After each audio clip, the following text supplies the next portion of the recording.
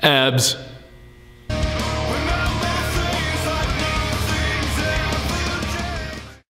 Today I have a special video for you on core training.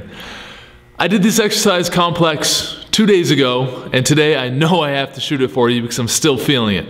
And if conditioning complexes like this are your thing, remember that my best-selling manual, Bull Strength Conditioning, is full of this stuff. I'm gonna put a link for you up in the top corner so you can go ahead and check it out. It's been a game changer for a lot of people that really wanna focus on quick conditioning complexes.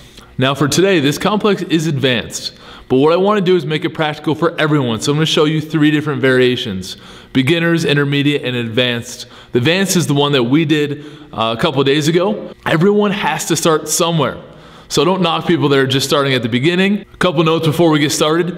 Some of these you'll see done with the ab hangers, some of them you'll see done with just hanging. I have no real preference. The only advice I would give you is that if your grip is a limiting factor and you can no longer hold yourself up on the bar, use straps or the ab hangers. No one out there should bust your chops about it because this is a core exercise.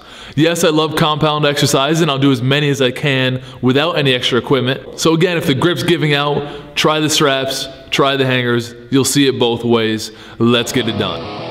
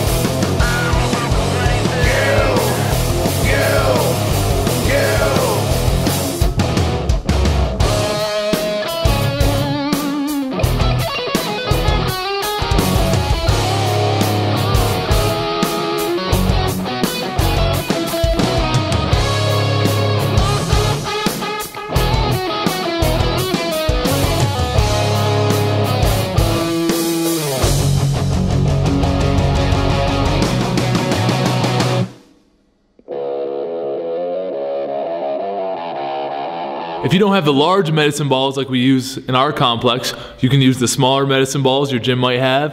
If you don't have smaller medicine balls, you can have a friend uh, actually push down on your feet and then let go while you pop back up. And if you don't have medicine balls, small medicine balls, or friends, there's not much I can do for you there. Go ahead and check out Bull Strength Conditioning. Thanks for watching the video. Give it a like and I'll talk to you guys soon as, as soon as this video reaches a thousand views.